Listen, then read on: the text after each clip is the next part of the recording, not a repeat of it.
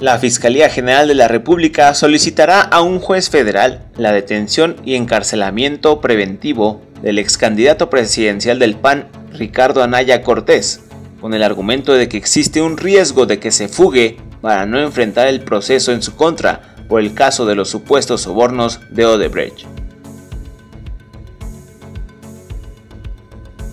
De no presentarse o insistir en comparecer a distancia fuera del país, los fiscales han dado a conocer que buscarían una audiencia privada para solicitarle al juez que gire una orden de aprehensión en su contra por los delitos de cohecho, lavado de dinero y asociación delictuosa.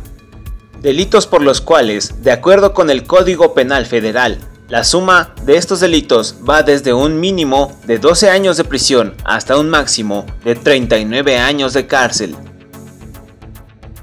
Este sería el cuarto intento de llevar a cabo esta audiencia, luego que ya se ha pospuesto en otras tres ocasiones.